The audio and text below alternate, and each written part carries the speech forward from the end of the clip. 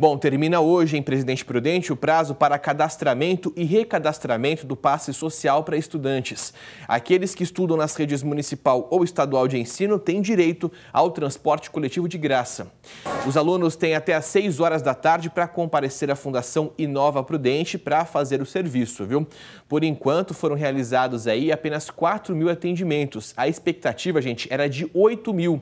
Prefeitura diz que o próprio estudante tem que ir aí ah, no momento do cadastramento porque ele vai fazer o registro da biometria. Também é necessário levar alguns documentos como atestado de matrícula, certidão de nascimento, RG e também um atestado da escola mais próxima de casa declarando que não tem vaga para a criança estudar lá.